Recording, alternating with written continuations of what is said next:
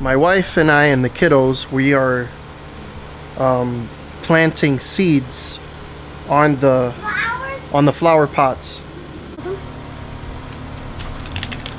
Look what we found. Give me a. Yeah, Can we show them the egg? Okay. here you go.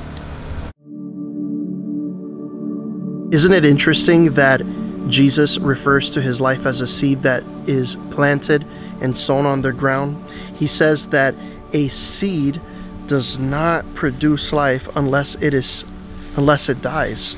He says unless a kernel of wheat falls to the ground and dies it produces no fruit. And isn't that what he did for us?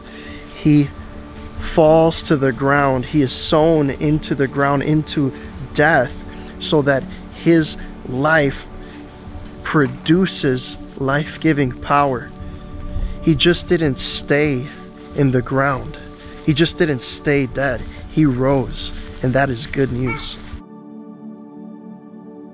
The hour is come that the Son of Man should be glorified. Verily, verily, I say unto you, except a corn of wheat fall into the ground and die, it abideth alone. But if it die, it bringeth forth much fruit. Well attested. John's view that this lies in